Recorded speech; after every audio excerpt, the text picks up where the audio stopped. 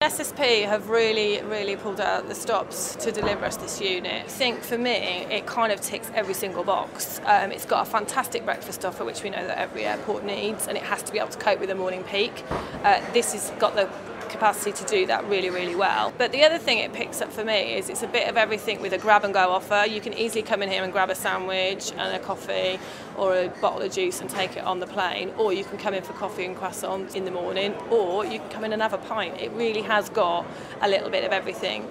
The quality and the food from especially the main main menu after lunchtime. The club sandwiches and the pasta is exactly like you would get in a gastro pub. The guys cope fantastically well with a big morning peak because they do the counter all morning. They'll do breakfast already done, so it's good to go. But then the, later on in the day, they move to the buzzer system. It works brilliantly um, all you can hear is the little buzzers going off and then passengers go and collect their own food. So it's it's really good. And it means it's made fresh. You know they really understand that that means it's been made fresh just for them. What SSP have done very well here is created some booth effects which are a bit more intimate for large groups. Um, but equally we've got some bench tops over behind us which have got some you know power plugs. They've got USB stations.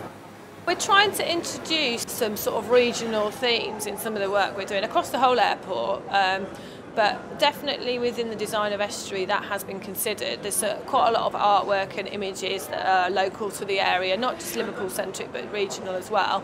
Um, and the teams use a lot of locally sourced products. Uh, we've got canes ale pie on the menu, and I know they're using locally sourced meats and breads. It's achieved everything we wanted to achieve, and in some areas more. And it's really raised the bar for us as an airport. It's really improved the quality and the expectations that passengers now can expect to get from Liverpool Airport. So that gives us a great another step to sort of build on as we go into the next 12 months. Actually had a, a, couple of extra minutes before my flight and thought I would come and have a, a nice meal somewhere.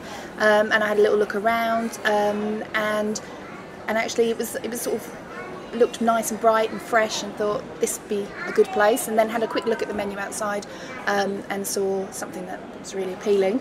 Um, so I came in and I've had the butternut squash and feta salad and uh, a nice cup of tea as well and uh, yeah it's been great. It's been really fast at the desk over there.